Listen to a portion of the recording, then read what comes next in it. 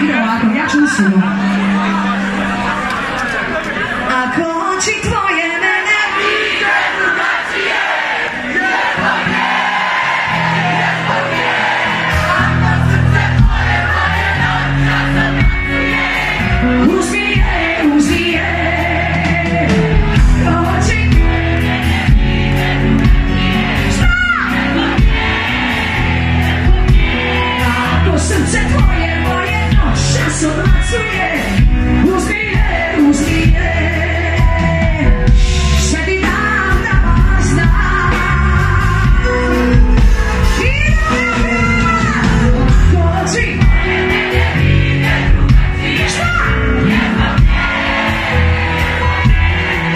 Srce tvoje moje noćas odbacuje Uzmi je,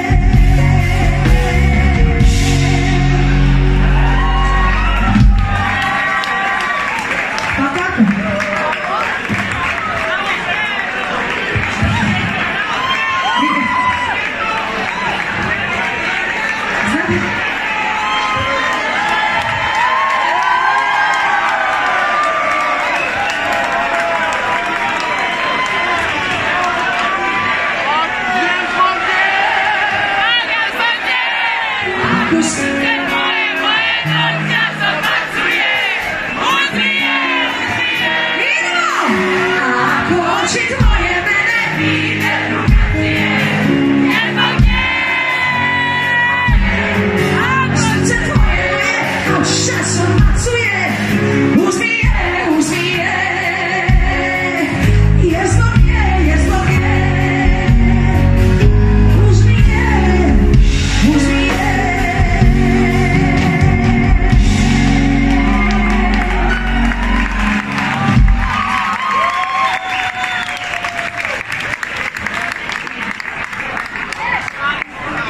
Mislim, sve ćemo prima čujenja, sve prije.